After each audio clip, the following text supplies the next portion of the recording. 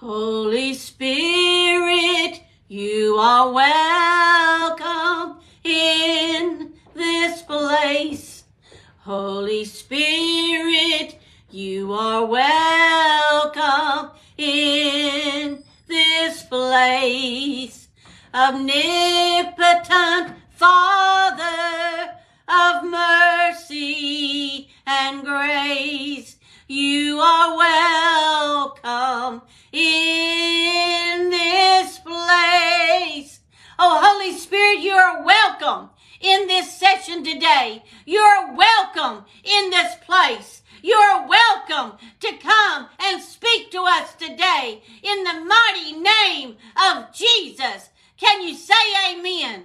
Thank you for viewing and watching and being with me today. This is a glorious day uh, for the Lord. Hallelujah. Early this morning, uh, the Lord visited me. Oh, there was a, a, visitation. I felt his hand upon my shoulder. Oh, and then he began to speak to me. Oh, in the name of Jesus. And he said, uh, when you die, that's when you live. Oh, listen to me, people of God. Listen to me. It's time to get serious with the Lord. It's time to cast away all of the care and the worry and the burdens and put them at the feet of Jesus. Oh, I am telling you today that if you want the presence of God, if you want revival of fires to come, hallelujah, that all of these things you need to do. Hallelujah. Casting every care over on the Lord because he cares for you. Praise the name of the Lord. If you want a divine uh, visitation uh, from God, oh, praise God, then you've got to invite him to come. You've got to invite him to come. That atmosphere of, of, praise, that atmosphere of worship, that atmosphere of humility has to be there in the name of Jesus. Father, we thank you for this day. I thank you for your visitation this day. I thank you, Lord, for visiting your people this day, even through this video, Lord. Wherever, whatever country they may live in, Lord, uh, let them have uh, your, your presence with them in Jesus' precious name. Hallelujah. I ask for revival fires to spread throughout the earth and let your glory uh, fill the earth like the waters cover the sea in the name of Jesus, in the precious name of Jesus. Hallelujah. This message today has put more fire inside of me. And I pray that it puts more fire inside of you today. In the name of Jesus. Because you are the one. You are the one that God is looking for. You are the one that God will use if you just allow Him to use you. I surrender all. I surrender all. All to Him, my precious Savior. I surrender all. There was another thing that the Lord spoke to me today when He came to visit me. And He said, Forsake it all. Forsake it all. What's going on with you? What's going on with your family? What's going on in your body? What's going on in your finances? What's going on all around you, in your government, in your community? God said, forsake it all. It doesn't matter. What matters is the very presence of our mighty God, our Father, Abba Father we cry out to you right now, Abba Father, uh, come into every uh, person's heart uh, that's listening today. Lord, if they are not saved, then I ask you to save them. If they need deliverance, I ask for deliverance. If they need uh, hope, give them hope. If they need peace, give them peace. In Jesus' precious name. In Jesus' precious name. So, how does revival spread? How does the fire spread? It first starts inside of you that you have forsaken it all, that you have said, Lord, here I am. Here I am. Use me. Send me. Let me go. Hallelujah. I don't care about any pain. I don't want to think about the pain anymore. I don't want to think about the uh, uh, abuse anymore. I don't want to think about the persecution anymore. I just want to think about you, Lord. I just want to think about you. Hallelujah. Forsake it all. If you don't remember anything else that I've said today, remember those words. Forsake it all. Because this carnal world, heaven and earth will pass away. But his word is eternal. And his, his presence in you is eternal. Hallelujah. Praise God forever and ever and ever. You know, I've just been in the Word and thinking about revival. We're going to go to the book of Acts in just a few moments because that's a revival book. That is a revival book. And, um, but I was thinking about the Welsh revival. Now, the Welsh revival began in 1904 and it ended in 1905. There was another one that was in the 1800s, but this one in particular, I want just to speak about just for a moment. The man, Evans Roberts, he prayed for 13 years the Lord would wake him up at one o'clock in the morning and he would get up and he would pray for four hours. And then he would go back to sleep and he would sleep until nine o'clock in the morning and he would get up and he would pray again. I call that commitment. I call that surrender. I call that forsaking it all in the name of Jesus. You know, some people get so wound up and wrapped up in themselves uh, that they there's no place for Jesus. There's no place for the Holy Ghost. There's no place for revival to come into their hearts. You see, revival means that there's changes going on. We're being changed from glory to glory. There's changes going on in my life. I pray that there's changes going on in your life because if you're the same as you were yesterday, then you need to cry out for the presence of God. You see, that's what I did this morning. I cried out for the presence of God. I said, I need you, Lord. I love you, Lord. See, this revival this Welsh revival started with a young girl standing up, and all she said was, I love Jesus. That's all it took. God saw her heart. He heard her prayers. And he came. You see, the, the revival is the presence of Almighty God. It's when he comes to earth when heaven invades earth, when God comes and walks among his people, that's revival. Oh, Lord, we thank you for revival. We thank you, Lord God. Revival is the response of the people to God. You see, they're, they're praying, they're worshiping, they're praising, hallelujah. And then the presence of God comes. God hears their cries and he comes, hallelujah. And then revival breaks out. And that is the response to God's presence. Are you responding to God's presence? Did you know that you can live in revival? You can live in His presence. You can walk in His presence. Hallelujah. Oh, He walks with me and He talks with me and He tells me I am His own. Hallelujah. That's what He said to me today. He said, I belong to him. Praise God. Praise the name of Jesus for a visitation from, from the very presence of Almighty God. Hallelujah. Praise God. Lord, we want to see your revival fires spread throughout the nations. We want to see it spread throughout the earth, Lord.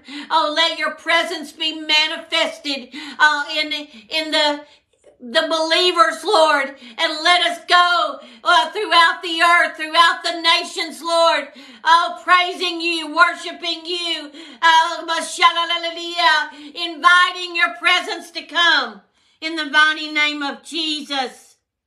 The mighty name of Jesus. I want to start with the word in uh, Second Chronicles chapter 7, verse 11. You say, Oh, I know this scripture. Do you really?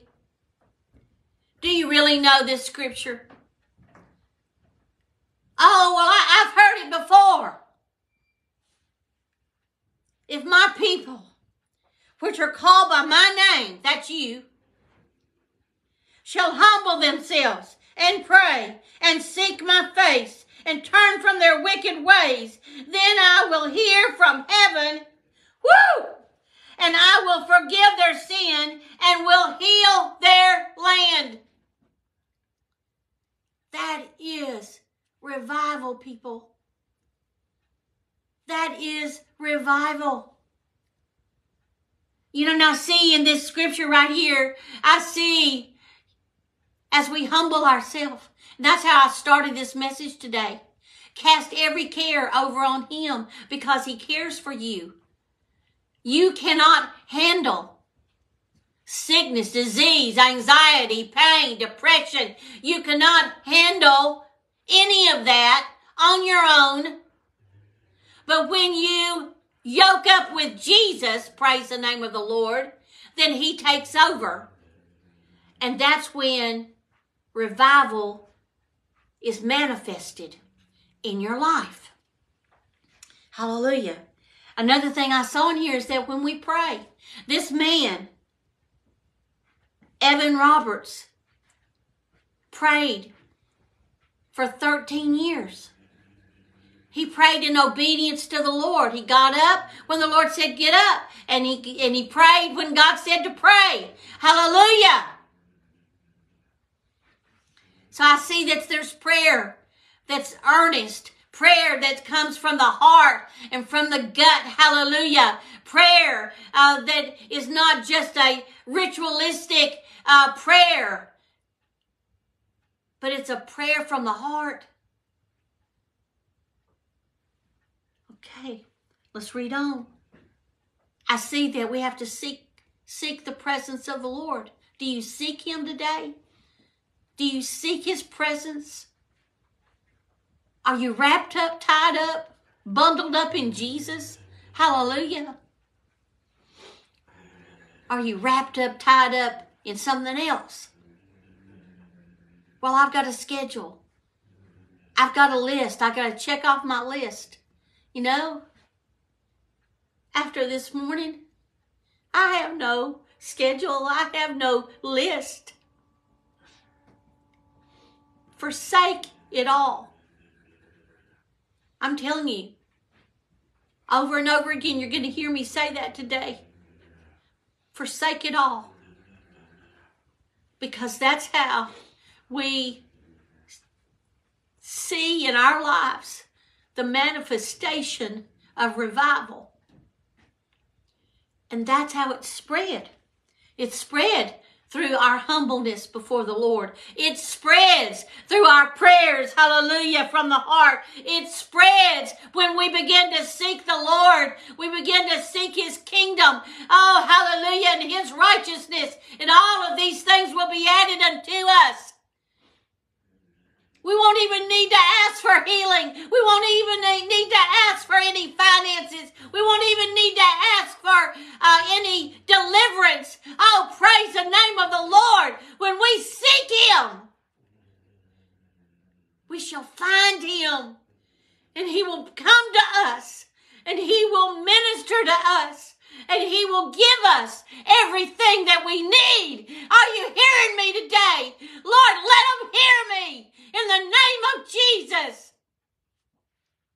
the name of Jesus. And then what else do I see?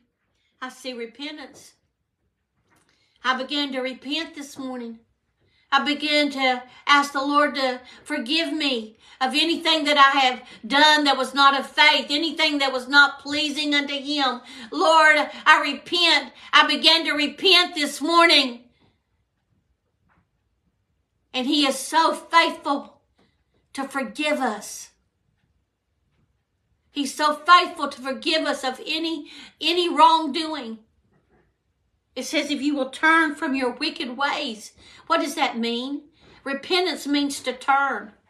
Repentance means to change your thinking, change your actions, change what you're doing. Hallelujah. Let me tell you something. If you're not getting any results, and this, I'm speaking this straight to me as well as I'm speaking it to you by the Spirit of God. If you're not getting any results with your prayers, then you're not praying the right thing. Woo! Lord, forgive me forsake it all. If you want to see the fires of revival spread uh, throughout the earth like the waters cover the sea, then you will forsake it all. Woo! I'm still going to Acts chapter, uh, the, the book of Acts, uh, quickly here. And then look, it says, I, I see in this passage also forgiveness that he's faithful to forgive. It says that he that we will he will hear us from heaven. Hallelujah. And he will forgive and then then that's when the healing of the land comes. Why? Why does the healing of the land come then? It's because of the presence of God. God begins to walk on the earth. God begins to manifest his presence in the earth, and that's when the healing comes. See, God is our healer. God is our healer. Say it with me. God is my healer. God is my healer. Hallelujah. Hallelujah. So, this passage right here is very critical for the spreading of revival fires. Now let's go over to the book of Acts. In the book of Acts, it starts out in chapter 1, where we see in verse 8, but you shall receive power after the Holy Ghost has come upon you. If you need the baptism of the Holy Spirit today, I speak it over you right now. I release it uh, to come into you right now in the name of Jesus. I loose your tongues. Let that prayer language come forth now in the name of Jesus. Just begin to pray. Just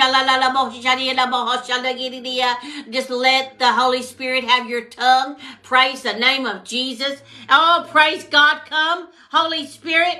Let me receive your power after that, that the Holy Ghost has come upon you. And you shall be witnesses unto me both in Jerusalem and in Judea and in Samaria and to the uttermost parts of the earth.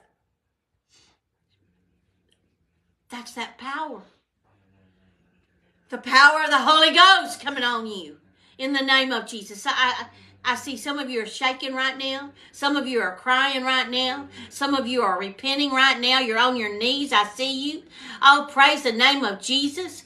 I thank the Lord for this message. I thank the Lord that it's burning in my heart. I thank the Lord that He's manifesting Himself in this session right now in the name of Jesus. Whatever you need from the Holy Spirit, uh, receive it now in Jesus' name. Hallelujah. Then in, in Acts chapter 2, we see that they are fulfilling Second Chronicles 7:14. They're doing it.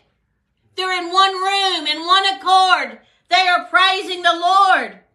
And suddenly there comes a sound from heaven a mighty rushing wind. Hallelujah. And God is sending and manifesting himself in that room. I don't know if I can sit still. Oh, hallelujah. Praise the name of the Lord. He can manifest himself right there in your room, right there in your kitchen, right there, wherever you are. Oh, in your car, wherever you are. God will manifest himself in the name of Jesus. And that's what happened. And they all spoke in tongues. And they were all filled with the fire of God. This was the starting of revival. This was the starting of revival. And then you see over in verse 14 that Peter stands up and he begins to preach with boldness and with power and with the anointing. Hallelujah. But you see, when the Lord visited me this morning, when my daddy visited me this morning, he said, It's not about preaching, it's not about teaching, it's all about the manifestation of the Holy Spirit. That's where it is. That's where revival is. Now, preaching is good, teaching is good. Why do I come to you uh, uh, uh, in these times? But it is when people forsake it all is when the Father shows up. Hallelujah. In verse 17, and it shall come to pass in those days, I'm talking about this is the starting of revival. And we're going to see revival spread throughout the book of Acts. Hallelujah. With salvations, uh, 3,000 on one day. Hallelujah. Uh, with people uh, falling dead because they lied to the Holy Ghost. Ooh, that's in chapter three. Woo, praise God. And then you see uh, the the miracles and the signs and wonders that begin to manifest themselves. The, the guy, oh, the man at the gate, beautiful, hallelujah, who had never walked. And all he did was look upon Peter and John, who were filled with fire, who were spreading the revival. Hallelujah. Hallelujah. It says in verse 40, 41, Then they that were gladly received the word were baptized, and the same day they were added 3,000 souls. And they continued steadfastly in the apostles' doctrine and fellowship, in breaking of bread and in prayers. Hallelujah. Hallelujah. And then in chapter 3, uh, we see the man at the gate, beautiful, get up. Well, he went walking and leaping and praising God into the temple. Hallelujah to Jesus. Oh, hallelujah. And then verse 19, it says, repent. Repent therefore and be converted, and your sins may be blotted out when the times of refreshing shall come. Don't you want to be refreshed? Don't you want to be energized and strengthened? Oh, hallelujah. Spread revival fires. And then we see in chapter 4 where Ananias and Sapphira lied to the Holy Ghost and they both fell dead. It's not good to lie to the Holy Ghost. Ooh, glory. Glory, glory, glory. Lord, we praise you. We praise you. And then we see in, in chapter, uh, let's go all the way uh, to uh, chapter uh, 8. Here we see revival fires spreading through Philip, the evangelist. And I want you just to look at this for just for a moment here. And it says in verse 5 Then Philip went down to the city of Samaria and preached Christ unto them. He did not preach doctrine, he did not preach, well, you old dirty sinner. He did not preach, oh, well, you know, you need to, you old drunkard, you need to, to stop drinking alcohol. You need to uh, stop smoking those cigarettes. Uh, you need to stop uh, using drugs. Uh, you, oh, no, no, no. He preached Christ to them. And the people with one accord gave heed to those things that Philip spoke, hearing and seeing the miracles which he did. For unclean spirits, listen to this, crying with a loud voice, came out of many that were possessed with them, and many taken with the palsy, and that that were lame, and they were healed. And in verse 8, there was great joy in the city. Do you want to have great joy come on the inside of you? Then receive